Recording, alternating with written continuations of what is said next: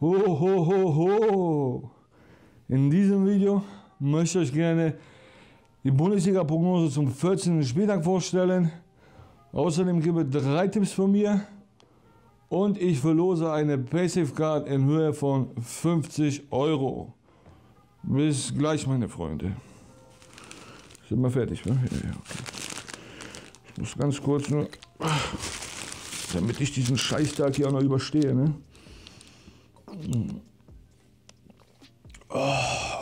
Können weitermachen, wir können weitermachen. Ah, boah.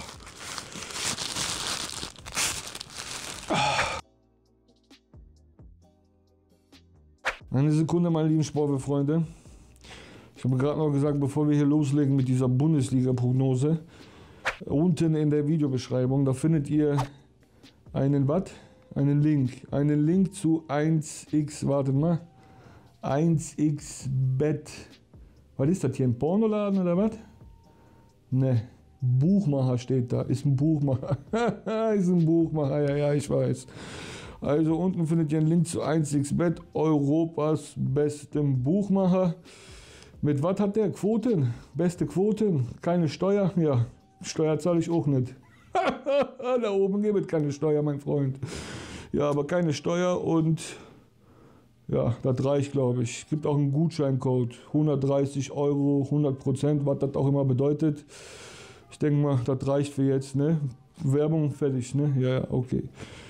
Wir sehen uns gleich, meine lieben Sportfreunde, beim Gewinnspiel. Davor lasse ich aber die Lusche David nochmal ran, euch sagen, was der da hier über diese Bundesliga oder was das da ist, denkt. Ne? Macht gut, meine Freunde.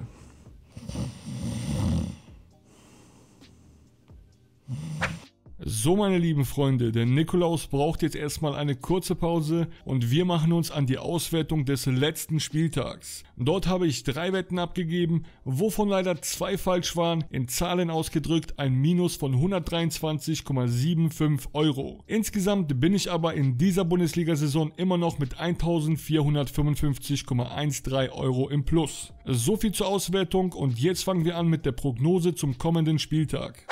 Am Freitag treffen die Werderaner auf die Fortuna aus Düsseldorf. Die Bremer stecken aktuell in einer kleinen Krise. Seit dem 2-0 Auswärtssieg gegen Schalke ist den Grün-Weißen auf dem Platz nicht mehr viel geglückt. Lediglich ein mickriger Punkt aus den letzten fünf Spielen. Auch am letzten Spieltag musste man sich zu Hause gegen den Rekordmeister aus München geschlagen geben. Die Fortuna musste letzte Woche nach zwei guten Spielen wieder eine Niederlage hinnehmen. Gegen Mainz 05 verloren die Düsseldorfer denkbar knapp mit 0 zu 1. Dies hatte zur Folge, dass die Jungs von Trainer Friedhelm Funkel die rote Laterne in der Liga vom VfB Stuttgart übernommen haben. Ich erwarte ein zähes Spiel, in dem sich der Gastgeber knapp durchsetzt. Meine Prognose ein 2 zu 0 für Werder.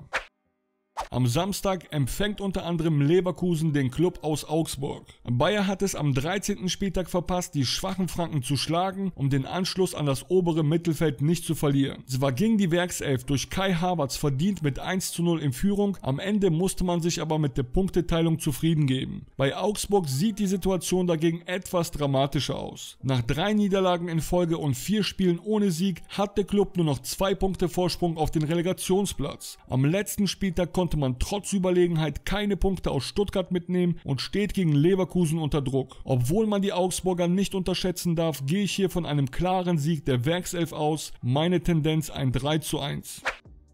Auch in der Samstagskonferenz spielt der FC Bayern München gegen den Club aus Nürnberg. Die Bayern haben es am letzten Spieltag geschafft, mit dem 2 zu 1 gegen Bremen die Negativserie von drei Spielen ohne Sieg zu durchbrechen. Mann des Spiels und Doppeltorschütze war Ex-Werderaner und Nationalspieler Serge Gnabry. Der Gegner am 14. Spieltag sind die Franken. Die konnten in der letzten Woche etwas überraschend gegen Leverkusen zu Hause einen Punkt holen. Georg Markreiter schoss in der 56. Minute zum 1 zu 1 Endstand. Auch wenn die Nürnberger in den letzten Wochen den ein oder anderen Achtungserfolg feiern konnten, in der Allianz Arena kann es nur einen Sieger geben, den amtierenden Meister aus München. Ich prognostiziere ein lockeres 3 zu 0 für Bayern. Zur gleichen Zeit empfängt der Sportclub aus Freiburg die Bullen aus Leipzig. Bei den Freiburgern läuft es aktuell suboptimal. Nach dem 1:1 Achtungserfolg in München verlor man zu Hause mit 1:3 gegen Mainz und gegen Bremen verspielte man einen sicher geglaubten Sieg in der Nachspielzeit. Auch in der letzten Woche konnte man erwartungsgemäß gegen starke Dortmunder nichts ausrichten und sich mit einem 0:2 zufrieden geben. Bei Leipzig sieht die Welt etwas anders aus. Nachdem man gegen Wolfsburg überraschend mit 0:1 verloren hat, konnte man in der letzten Woche wieder positive Schlagzeilen schreiben und die aktuelle Nummer 2 der Bundesliga Gladbach mit 2 zu 0 schlagen. Auch wenn der Sportclub zu Hause nicht zu unterschätzen ist, glaube ich, dass die Bullen in Freiburg mit 2 zu 1 gewinnen werden.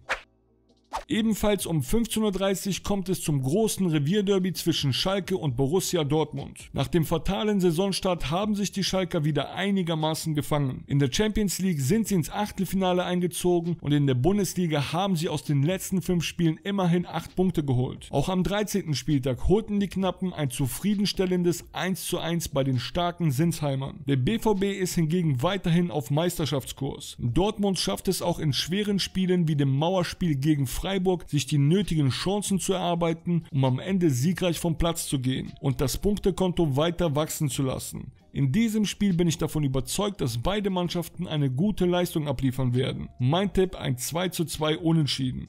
So, meine lieben Sportfreunde, ihr habt hier gerade diesen hier, diese Lusche da, diesen möchte gern Profisportwetter gehört.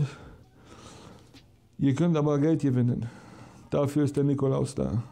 50 Euro könnt ihr gewinnen, wenn ihr das Topspiel zwischen Dortmund und Schalke richtig tippt.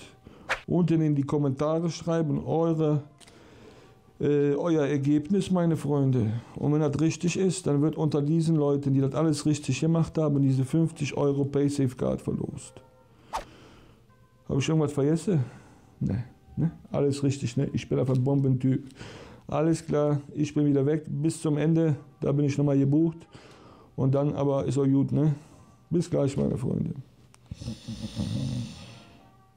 Das letzte Spiel in der Samstagskonferenz bestreiten die Wölfe aus Wolfsburg und die TSG aus Hoffenheim. Die Wölfe haben aktuell einen kleinen Lauf. So konnten sie vor zwei Wochen die starken Leipziger mit 1 zu 0 schlagen und in der letzten Woche die Siegesserie von Frankfurt stoppen und mit dem 2 zu 1 Auswärtssieg den zweiten Dreier in Folge holen. Auffällig hierbei, dass Wolfsburg tatsächlich einen spielerischen Fortschritt gemacht hat und die Erfolge deswegen nicht von ungefähr kommen. Bei Hoffenheim sieht es dagegen etwas anders aus. Zwar ist man in der Bundesliga seit sechs Spielen ungeschlagen, trotzdem scheint bei den Jungs der Kräfteverschleiß langsam zum Vorschein zu kommen. In den letzten beiden Spielen gab es gegen die Hertha und gegen Schalke nur ein Unentschieden und auch gegen die Wölfe wird es nicht einfacher, um die volle Punktzahl zu holen. Ich glaube, es wird mal wieder eine Zeit für eine Bundesliga-Niederlage der Sinsheimer, deswegen mein Tipp ein 2 zu 1 Heimerfolg für Wolfsburg.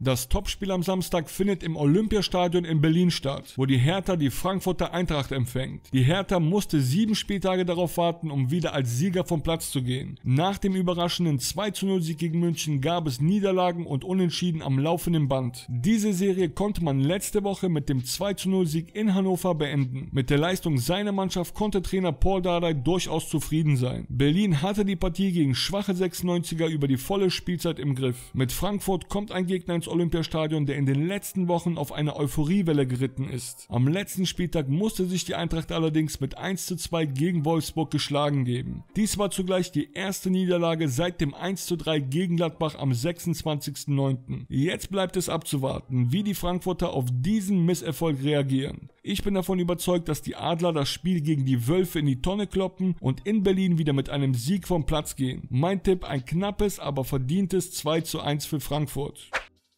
Das erste Sonntagsspiel führt uns nach Mainz, wo der FSV gegen Hannover 96 spielt. Nach einem sehr guten Saisonstart gab es für die Mainzer im Mittelteil der Hinrunde eine lange Durststrecke. In dieser haben die Mainzer nur zwei Punkte aus sechs Spielen geholt. Aktuell scheinen die Mainzer aber wieder in der Spur zu sein. In den letzten vier Spielen konnte der FSV drei Siege einfahren und sich in der Tabelle auf Platz 10 verbessern. In Hannover sieht die Welt nicht ganz so rosig aus. Bis auf das glückliche 2 zu 1 gegen Wolfsburg hagelt es in den letzten Spielen nur Niederlagen. Schlagen. So auch letzte Woche zu Hause gegen Berlin. Neben den Ergebnissen ist auch die Art und Weise, wie das Team spielt, erschreckend. Kein Wunder, dass Manager Horst Held im Doppelpass André Breitenreiter keine Jobgarantie aussprechen wollte. Auch wenn ich grundsätzlich von den Trainerfähigkeiten von Breitenreiter überzeugt bin, habe ich das Gefühl, dass er die Mannschaft nicht mehr erreicht. Er scheint die Verbindung zum Team verloren zu haben und genau so präsentieren sich seine Jungs auf dem Platz. Komplett lust- und motivationslos. Dies wird sich auch gegen Mainz nicht ändern, deswegen tippe ich auf ein lockeres 2 zu 0 für die Narren. Das letzte Spiel am 14. Spieltag bestreiten die Fohlen aus Gladbach und der VfB Stuttgart. Nach drei Siegen in Folge und Tabellenplatz 2 mussten sich die Fohlen am letzten Spieltag in Leipzig geschlagen geben. Auffällig in dieser Saison ist, Gladbach konnte auswärts bislang nur zwei Spiele gewinnen, 3 zu 0 gegen München und 3 zu 1 gegen Bremen. Anders sieht es vor heimischer Kulisse aus. Im Borussia Park wurden die Gegner reihenweise vom Platz gefegt. Der VfB hat hingegen ganz andere Probleme. Zwar konnte man aus den letzten drei Spielen sechs Punkte holen und somit die direkten Abstiegsränge vorübergehend verlassen. Spielerisch lässt die Leistung aber weiterhin einiges zu wünschen übrig. Wie zum Beispiel letzte Woche beim 1 zu 0 gegen Augsburg. Zwar hat man durch das Tor von Anastasios Donis drei Punkte einfahren können, aber wenn man ehrlich ist, das Spiel hat über weite Strecken der Club gemacht. Umso erstaunlicher, dass dieser nicht zum Torerfolg gekommen ist. In diesem Match gehe ich davon aus, dass Gladbach im Borussia Park der eigenen Linie treu bleibt und auch die Stuttgarter mit 3 zu 0 vom Platz fegt. So meine Lieben, kommen wir nun zu meinen persönlichen Wetten. An diesem Spieltag habe ich mich dafür entschieden, drei Wetten abzugeben. Ich habe zweieinhalb Einheiten auf Schalke asiatisches Handicap plus 0,25 zu einer Quote von 2,040 gesetzt. Das bedeutet, geht das Spiel unentschieden aus, gewinne ich die halbe Wette, gewinnt Schalke, gewinne ich die ganze Wette. Dann habe ich zweieinhalb Einheiten auf Wolfsburg asiatisches Handicap plus 0,25 zu einer Quote von 1,930 gesetzt. Was das bedeutet, habe ich eben schon erklärt. Und ich habe zweieinhalb Einheiten auf Gladbach asiatisches Handicap minus 1,25 zu einer Quote von 2,070 gewettet. Das wiederum bedeutet, gewinnt Gladbach nur mit einem Torunterschied, bekomme ich den halben Einsatz zurück, gewinnen die Fohlen mit zwei oder mehr Toren Unterschied, gewinne ich die Wette. Ich soll euch übrigens vom Nikolaus sagen, dass ihr noch nicht abschalten sollt, er möchte sich noch von euch verabschieden.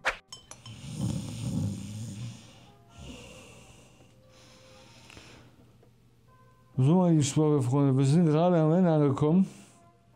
Die Bundesliga-Prognose ist vorbei. Die Tipps habt ihr auch bekommen. Und jetzt habe ich noch von der Regie gesagt bekommen, ich soll mal die Glocke läuten. Was das auch immer bedeuten soll, ihr solltet auch machen. Ich weiß nicht, was das ist. Einfach hier die Glocke läuten. Nehmt euch irgendeine Glocke und läutet die und läutet und läutet. Ist mir ehrlich gesagt scheiße, ja. Ich habe hier mein polnisches Wasser. Kann ich auf jeden Fall empfehlen. Und von mir gibt es auf jeden Fall nur noch macht es gut. Bis zum nächsten Jahr. Zur selben Zeit, am selben Ort. Ich bin der Nikolaus. Ciao, ciao.